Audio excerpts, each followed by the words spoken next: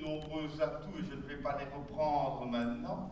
C'est un territoire qui est en mutation, qui a subi, euh, notamment dans certaines parties de ce territoire, le déclin d'une certaine forme d'industrie, et donc qui a dû subir et affronter cette mutation, avec aussi un territoire qui est de plus en plus attractif, de plus en plus attractif au niveau de la population, en effet, la population est en croissance, on dépasse sur le territoire de nos six communes 100 000 habitants, on est au-delà des 100 000 habitants et encore en augmentation d'année en année, c'est aussi un territoire de plus en plus attractif pour l'aspect économique. Et donc un potentiel d'investissement, que ce soit pour l'immobilier résidentiel, mais aussi pour l'implantation d'entreprises. Que c'était important de le mettre en avant et de, ça c'est la deuxième partie de notre euh, journée, de montrer ce qui a déjà été réalisé, les projets ou les réalisations que nous avons déjà pu euh, concrétiser ici au niveau de la basse.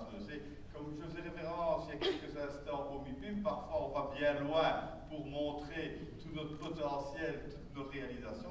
C'était utile aussi de le faire ici, chez nous, dans un lieu en plus intéressant et euh, agréable et qui caractérise un peu notre basse-meuse. Nous faisons d'ailleurs souvent des événements ici.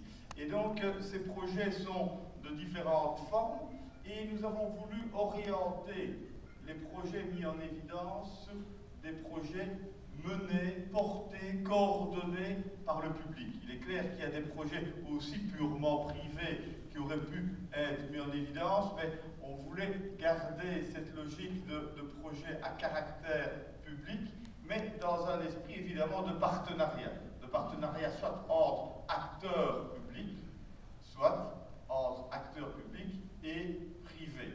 Ou, plus simplement, des projets qui ont été menés par le public, mais qui ont pour objet de créer un effet de levier des investisseurs, des investissements privés. Et on a quelques exemples, je connais plus particulièrement évidemment ceux de la ville de Herstal, mais nous avons voulu aujourd'hui qu'il y ait des exemples menés dans les différents coins de notre basse qui est un territoire pluriel, diversifié, avec des facettes plus rurales, d'autres plus urbaines. Et donc, euh, c'est aussi des opportunités différentes d'implantation. Donc voilà un peu l'objet de euh, ce salon. J'espère que cela sera pour vous une belle découverte et je suis convaincu que cela est de bon augure pour répéter l'opération chaque année, peut-être un moment un peu différent de l'année et peut-être un peu plus tôt dans l'année, mais je pense qu'en tout cas, ça a toute son utilité. Encore merci pour votre présence, votre participation et surtout celle des intervenants et de la SPL Basse Développement qui a mis ça sur pied.